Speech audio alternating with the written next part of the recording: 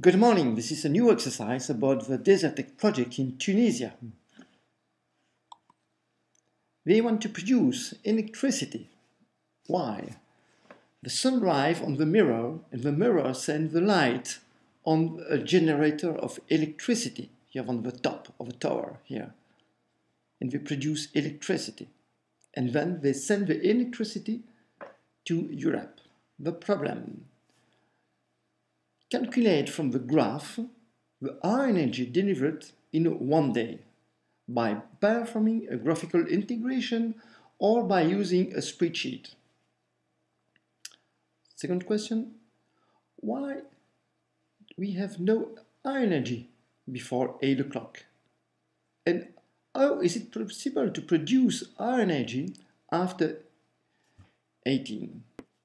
The solution the high energy is the power multiplied by the time. If the power is in kilowatt, the time in hour, the high energy is in kilowatt hour. If the power is in megawatt, the time in hour, the energy is in megawatt hour. And one megawatt hour is 1000 kilowatt hour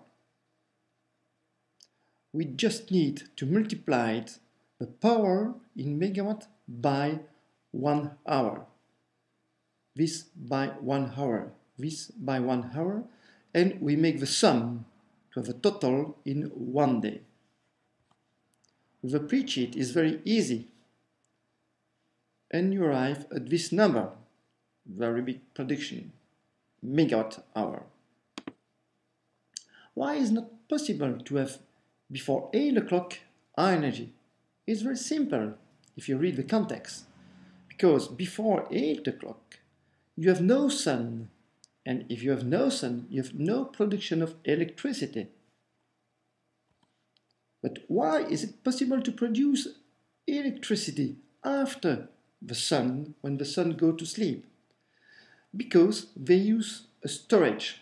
They store in salt tank, salt tank with salt, they make a reserve with the storage the high energy to produce electricity.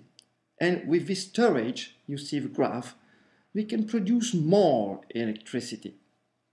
This is electricity produced when you have the sun, and this is the electricity produced with the storage.